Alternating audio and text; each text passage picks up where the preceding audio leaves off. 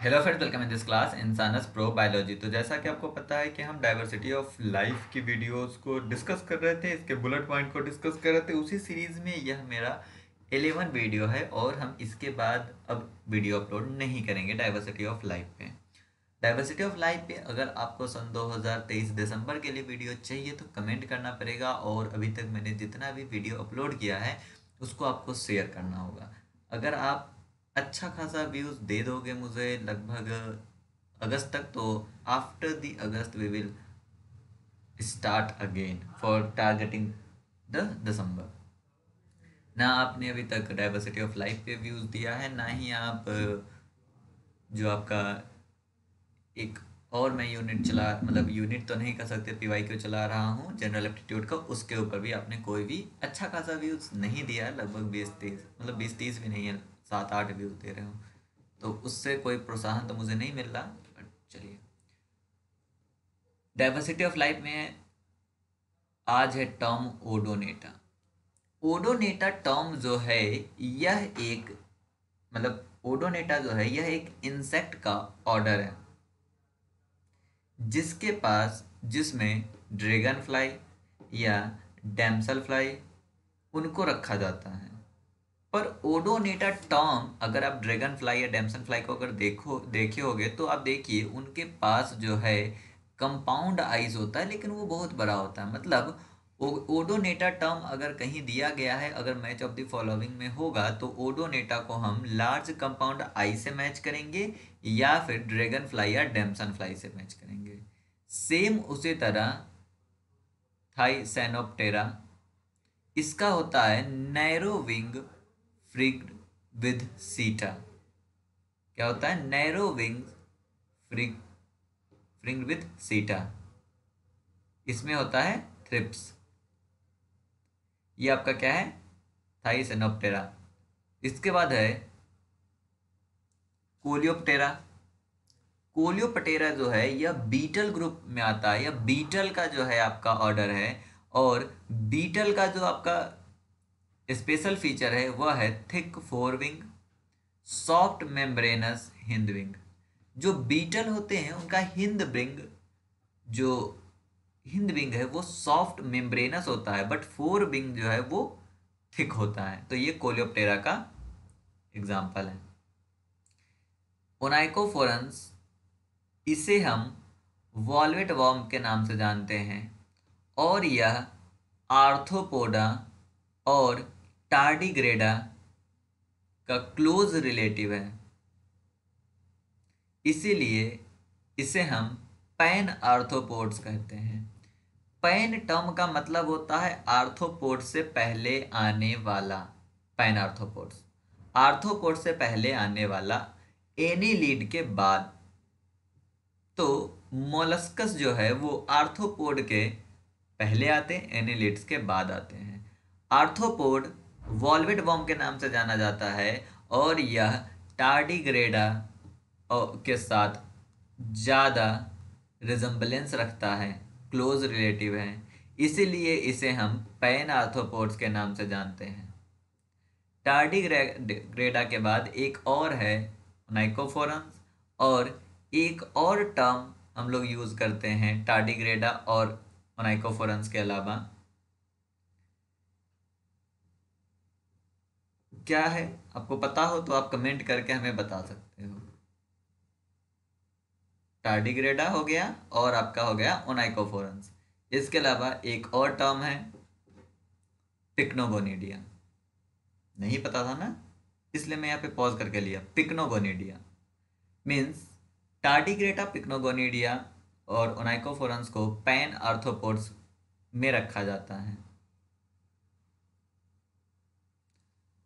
Tax on पैनॉर्थोपोड्स trilobites जो है, यह एक एक्सटेंट मेराइन आर्थोपोड है।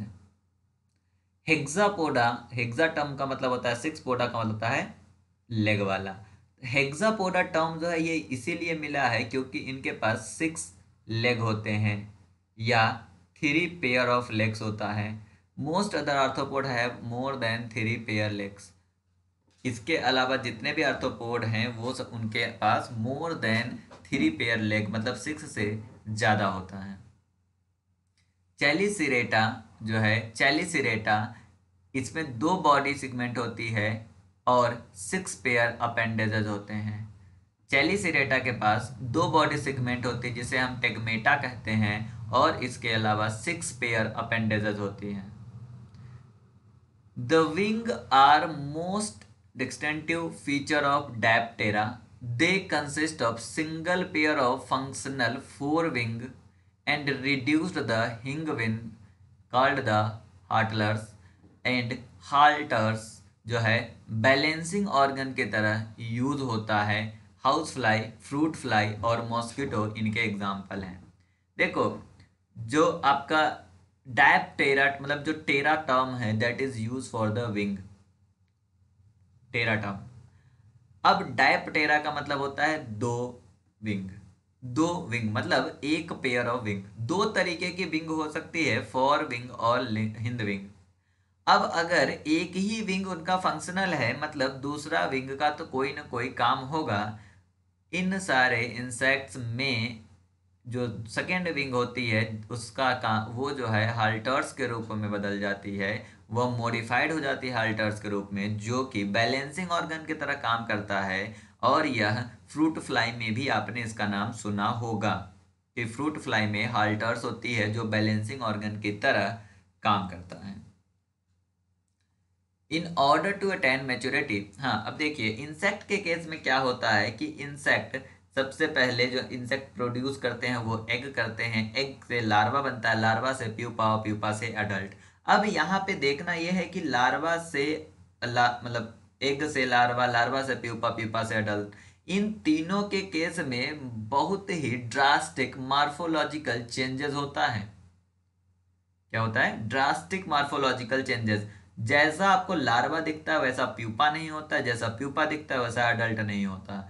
इस तरह की चीज़ें, इस तरह का डेवलपमेंट जिसमें बहुत ही ज़्यादा कॉम्प्लेक्स मार्फोलॉजिकल चेंजेस आते हैं, उस टर्म को हम मेटामॉर्फोसिस कहते हैं। वही लिखा है to order the to order to attend the maturity some insect pass through the four different stages egg larva pupa and adult these are, there are many changes in in form. It is called a complex metamorphosis अगर कोई भी insect इन चारों, जो कि egg larva pupa and adult इन चारों stage को cross करता है या इन चारों स्टेज को शो करता है तो उस तरह के मेटामॉर्फोसिस को हम बोलते हैं कंप्लीट मेटामॉर्फोसिस या holometabolous development holometabolous development इसके अलावा मेटामॉर्फोसिस के और भी टाइप्स हैं, अगर आपको चाहिए वीडियो तो डेफिनेटली आपको व्यूज़ इस पर शो करने होंगे या आपको कमेंट करना होगा। मेटामॉर्फोसिस बहुत ही कॉम्प्लेक्स फिनोमिनॉन है, जो कि बहुत ही इंटरेस्टिंग भी है। तो अगर आपको चाहिए video just comment drop the comment in the comment box एक होता है L A C E lace wings order Neuroptera beetle Coleoptera, ये ऊपर ही बताया। बटरफ्लाई या मौत को लेपिडोपटेरा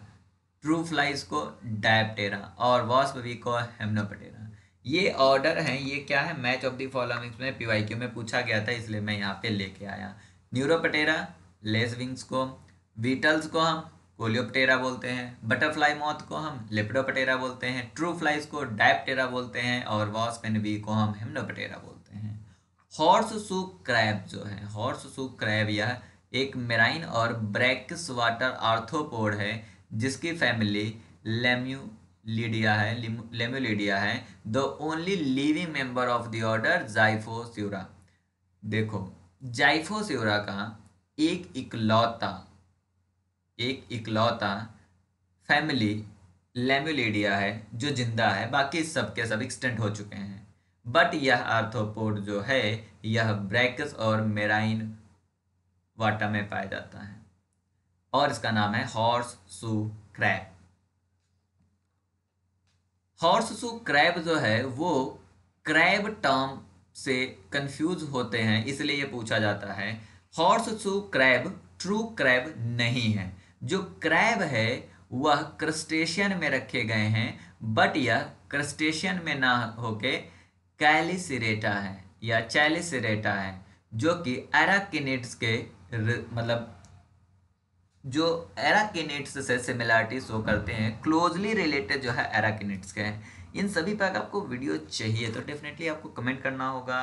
जब अगर आप बहुत ही ज़्यादा सपोर्ट करोगे तो then I will come with the every every point details जितने ये डिटेल्स है कैलिसरेटा का क्या मतलब है? एराकिनेट्स का क्या मतलब है? क्रैप्स का क्या मतलब है? हॉर्स क्रैब क्या होता है?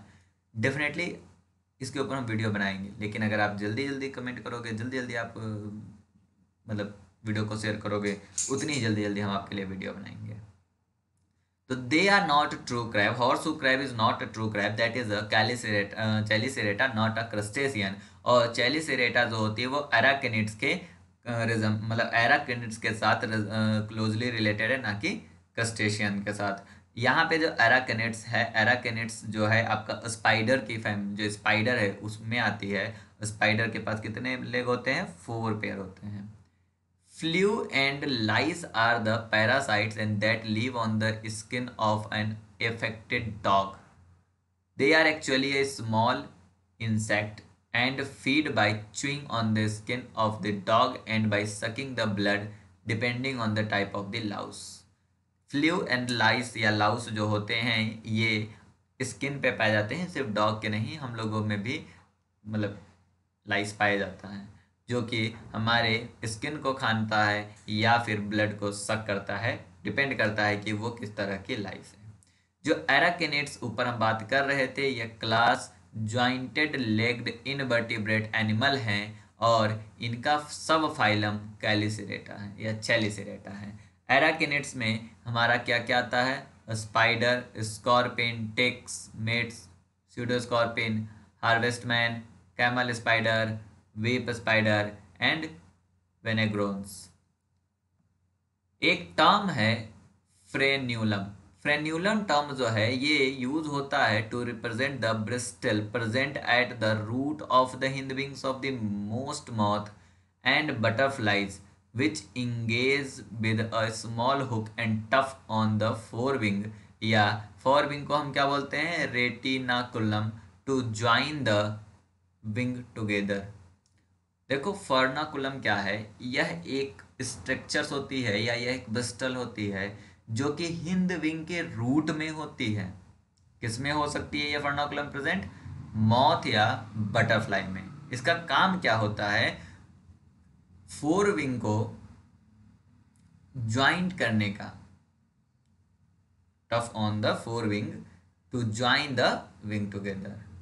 तो फोर विंग जो दो फोर विंग हैं, उनको बीच में जोड़ने के लिए जो होता है, वो स्ट्रक्चर जो जोड़ने वाली स्ट्रक्चर होती है that is called the frenulum frenulum frenulum connect the hind wing and forewing and make the two wing act as a single surface during the flight.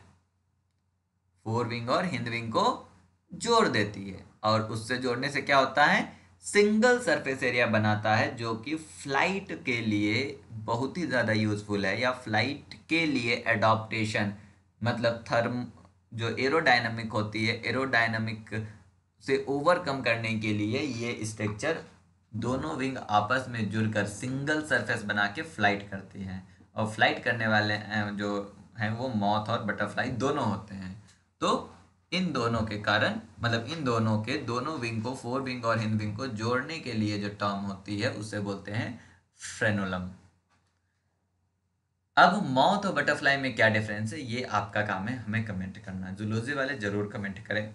और इसी तरह की वीडियो चाहिए तो डेफिनेटली वीडियो को शेयर करें। Bye bye